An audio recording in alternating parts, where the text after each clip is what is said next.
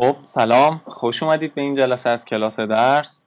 من محمدم و حتما جلسات الکتریسیته ساکن رو با هم با من در حقیقت دنبال کردین. من هم خیلی چیز یاد گرفتم تو اون جلسات. از امروز می‌خوایم با هم شروع کنیم صحبت کردن راجع به مبحث الکتریسیته جاری رو. خب الکتریسیته جاری که حتما برای شما خیلی جذابتر هم خواهد بود از الکتریسیته ساکن. همونجوری که از اسمش پیداست در مورد جریان الکتریکی صحبت می‌کنه. جریان الکتریکی همون چیزیه که در همه قطعاتی که شما در زندگیتون قطعات الکترونیکی استفاده می‌کنید وجود داره و ساده ترینش خب وقتیه که شما یک لامپ رو روشن می‌کنید. وقتی جریان از لامپ عبور بکنه لامپ روشن میشه. خب پس بریم با هم شروع کنیم و ببینیم که جریان الکتریکی چیه. قبلش من می‌خوام برای اینکه شما ببینید که خب ما اگه الکتریسیته جاری برامون انقدر جذابتره اصلا چرا الکتریسیته ساکن خوندیم؟ بهتون بگم که هدفمون از اون کار فقط این نبود که نمره های خوبی بیاریم هدفمون بود که یک پایه‌ای درست بکنیم که با اون بتونیم بهتر تحلیل کنیم طبیعت رو. و بنابراین یک مرور سریع می‌کنم یک نکته ای که ما از الکتریسیته جاری یاد گرفتیم و اینجا به دردمون می‌خوره. فرض کنید شما که ما یک میدان الکتریکی داریم در این جهت. یک میدان الکتریکی یک نواخت به سمت راست صفحه که یک اندازه ای هم داره.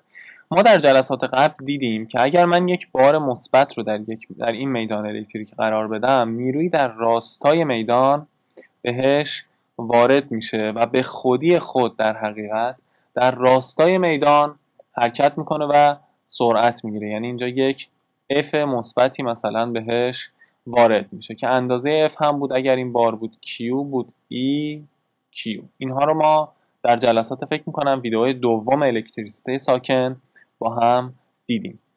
و همونطوری که حتما یادتون هست ما با هم تعریف کردیم که در حقیقت این انرژی پتانسیلی که در این نقطه داره این بار مثبت داره تبدیل میشه به انرژی جنبشی همونجوری که در راستای میدان حرکت می‌کنه. بنابراین پتانسیلی که این بار در این نقطه داره یک بار مثبت بیشتر هست از پتانسیلی که در جلوتر وقتی که به سمت راست حرکت می‌کنه در میدان داره و بنابراین در خلاف جهت میدان عملا پتانسیل الکتریکی دیدیم که زیاد میشه. چیز دیگه ای که با هم دیدیم این بود که اگر من یک بار منفی رو مثلا یک الکترون رو قرار بدم در این میدان در خلاف جهت میدان بهش یک نیروی وارد میشه. مثلا ای و در حقیقت این الکترون در خلاف جهت میدان شتاب می‌گیره و حرکت می‌کنه به خودی خود.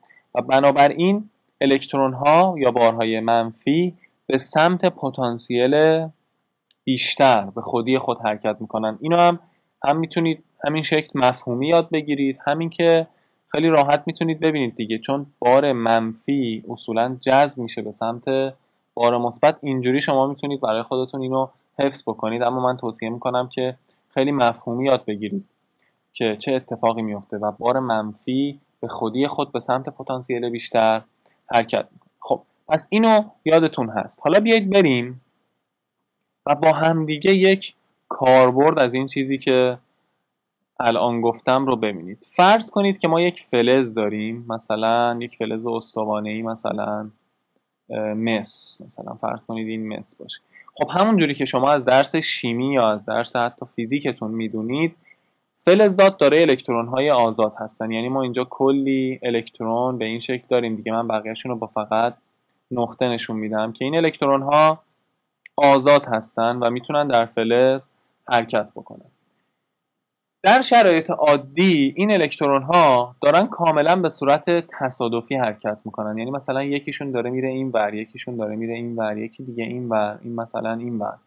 و بنابراین مجموع الکترونی که مثلا از یک مقطع خاص من اگر از این مقطع خاص در نظر بگیرم چقدر الکترون داره میره سمت چپ چقدر سمت راست برایندش صفر میشه.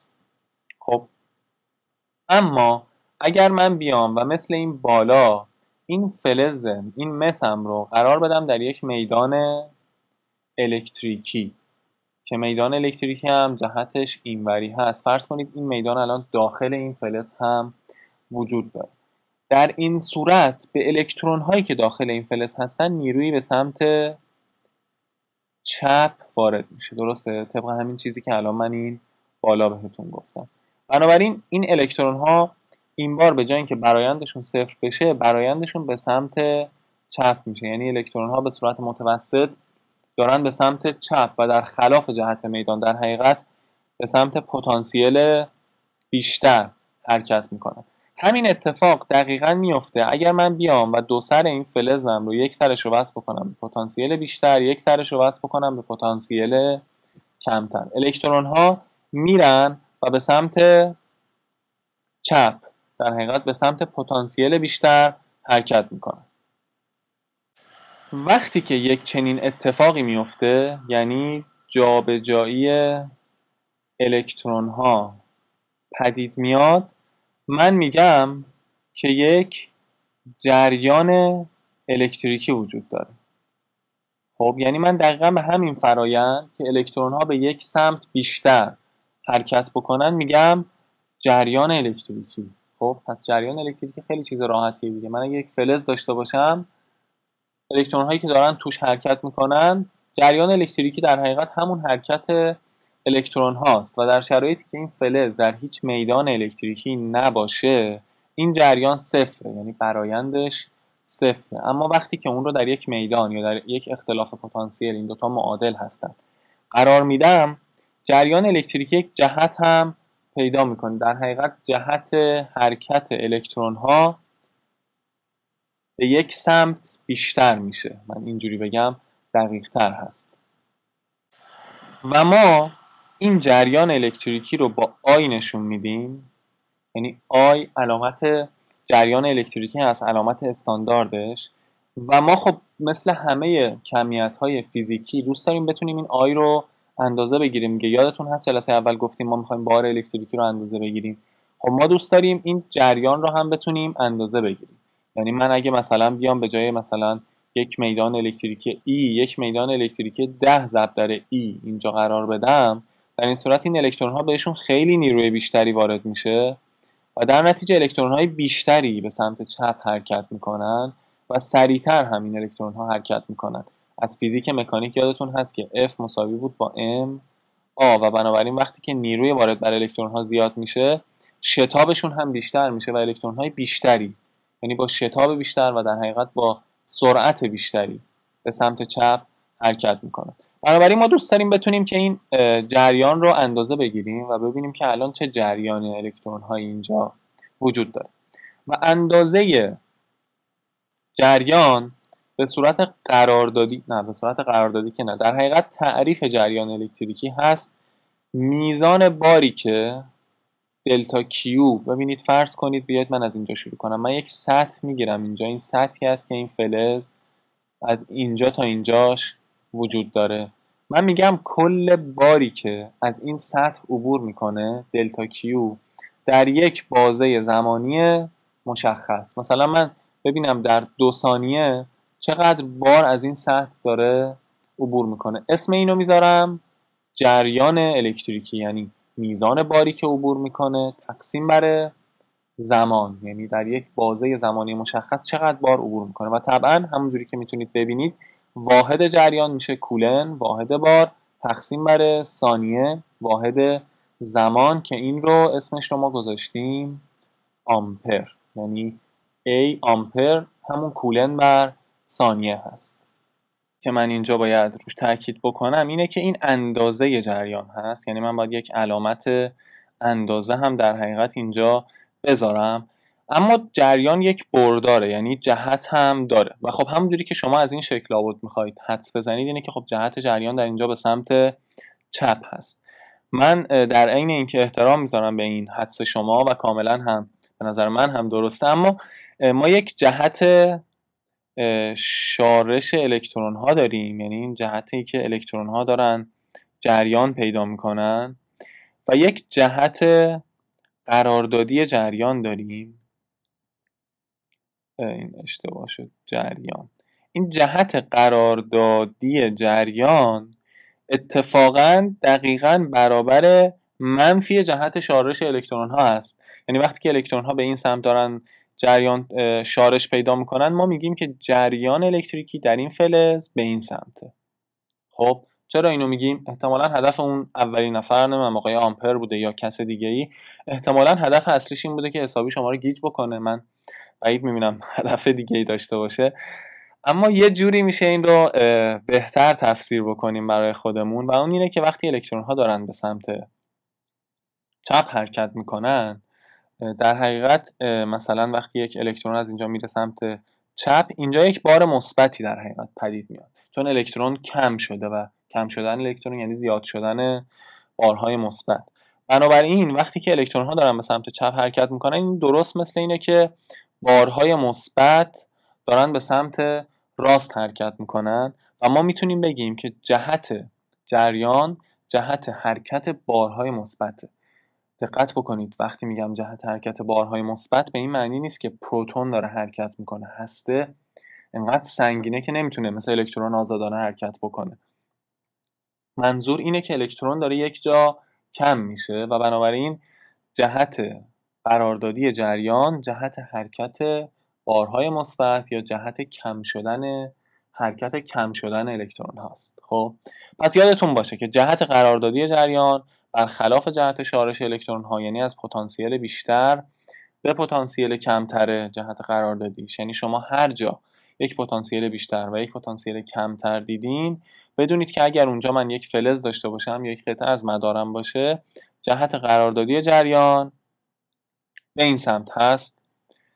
و این نکته که باید یادتون باشه یعنی یه نفری دوست داشته شما رو گیج بکنه شما هم دیگه تا آخر عمر هر جا مدار بخونید این رو باید یادتون باشه. ممکنه از من یک سوال بپرسید که خیلی هم سوال درست و خوبیه و اون اینکه خب ما این میدان الکتریکی رو در زندگی روزمرهمون چجوری پدید بیاریم؟ ما که این حالا فلز مسی پیدا میشه مسی هم نشد یه جنس دیگه یا مثلا یه لامپ من می‌تونم پیدا بکنم اما این میدان الکتریکی و این اختلاف پتانسیل چجوری پدید میاد؟ و جوابش خیلی راحته. شما می‌تونید برید هر سوپرمارکتی هر مغازه‌ای و یک باتری قلمی یا باتری کتابی یا هر باتری بخرید که اینجا منفیه اینجا مثبت. و این باتری دقیقا این نقش رو برای شما یعنی این اختلاف پتانسیل رو برای شما ایجاد می‌کنه. و اگر بیاید این باتری رو شما وصل بکنید به یک قطعه این قطعه می‌تونه هر چیزی باشه. مثلا لامپ می‌تونه باشه نمی‌دونم یک سیم خیلی کلفت می‌تونه باشه. اگر شما بیاید این باتری رو وصل بکنید به این قطعه با سیم در این صورت اینجا پتانسیلش مثبت خواهد بود اینجا پتانسیلش منفی خواهد بود. در حقیقت اینجا پتانسیلش دقیقا برابر پتانسیل سر مثبت باتری و اینجا پتانسیلش دقیقا برابر پتانسیل سر منفی باتری خواهد بود و همین اتفاقات دیگه برای ما خواهد افتاد. بذارید که یکم دقیق تر با هم دیگه ببینیم که وقتی من یک باتری رو با سیم به چند تا قطعه الکترونیکی وصل بکنم چه اتفاقهایی کلا میفته خب یادتون هست که ما در مورد باتری در ویدیوهای قبلیمون چی با هم یاد گرفتیم؟ باتری که تو مدار این شکلی نشونش میدیم و این سر منفیش این سر مثبت مثلا سر مثبتش وی مثبت پتانسیلش سر منفیش وی منفی و می مثبت منهای وی منفی میشه اون عددی که ما به باتری نسبت میدیم وی ولت مثلا 12 ولتی یک ولتی. باتری ماشین مثلا 12 ولتی هست و غیره. باتری ویژگی که داره اینه که این اختلاف پتانسیل رو این مثبت و منفی رو و این وی ولت رو به صورت دائم در خودش پدید میاره و در حقیقت اینجا رو شما می‌تونید فرض بکنید با یک مسامحه که یک منبع تموم نشدنی الکترونه و این اختلاف پتانسیل دائم وی ولت در باتری باقی میمونه. خب حالا ما می‌دونیم که این منبع تموم نشدنی الکترون که این سر باتری هست خب الکترون ها دوست دارن برن به پتانسیل بیشتر. درسته؟ یعنی دوست دارن برن بچسبن به این سر مثبت باتری. اما در شرایط عادی نمی‌تونن. یعنی ما باتری ها رو جوری می‌سازیم که بین سر مثبت و منفیشون هیچ سیمی وجود نداره و الکترون ها هیچ جوری نمی‌تونن جابجا بشن. خب حالا اگر من بیام و این امکان رو برای باتریم پدید بیارم در حقیقت برای این الکترون ها پدید بیارم که درون یک سیم حرکت بکنن و برن برن مثلا اینجا هم حالا سر راهشون یک چیزهایی باشه مهم نیست چی و از اینجا برن و بچسبن به سر مثبت. خب این الکترون ها خیلی خوشحال میشن و خب چون تموم نشدنی هم هست این منبع الکترون البته تموم میشه باتری ها اما ما الان داریم فرض می‌کنیم که مثلا باتریمون خیلی زیاده یا باتریمون رو می‌تونیم شارژ بکنیم یا اصلا این به جای باتری برقه مهم نیست. مهم اینه که برای کار ما فعلا فرض می‌کنیم باتریمون تا یه مدت خوبی کار می‌کنه.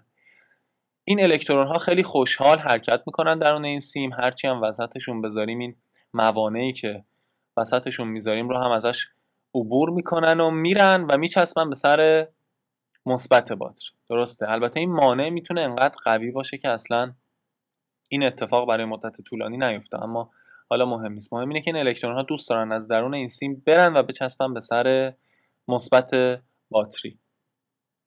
این بذارید من برای اینکه یه خورده بیشتر بفهمیم داره چه اتفاقی میفته یک مثال بزنم. ببینید فرض کنید که ما مثلا یک شیب اینجا داریم. حالا یک شیب که نه مثلا یک سطل آبی اینجا داریم. و این سطل آب مثلا تا اینجا پره.